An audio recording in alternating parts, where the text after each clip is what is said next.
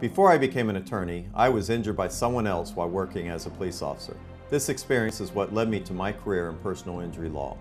Our firm works to protect the rights of our clients in cases of personal injury, auto accidents, slip and falls, and any other incident where they've been injured due to someone else's negligence. When the insurance companies deny me benefits on my case, I had to fight them. I'll fight for your rights too. The Pelham Law Firm is the way to go.